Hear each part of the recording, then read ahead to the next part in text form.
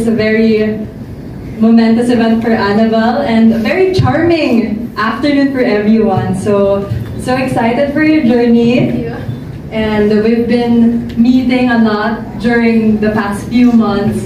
And I can see how you're dedicated and how you transformed in your trainings. And of course, uh, this is the wish of everyone, the wish of the organization and the whole Philippines. You know that the whole Philippines is rallying with you in this journey. So we're really proud of you.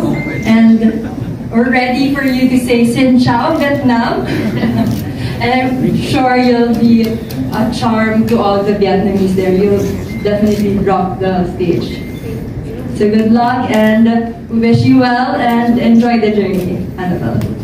I've seen how much you've grown and I'm so proud, yes, and I'm so proud of the woman. You're not a girl anymore, though you're the baby girl of our group, but you really are a stunned, intelligent, and passionate woman. Your story is inspirational.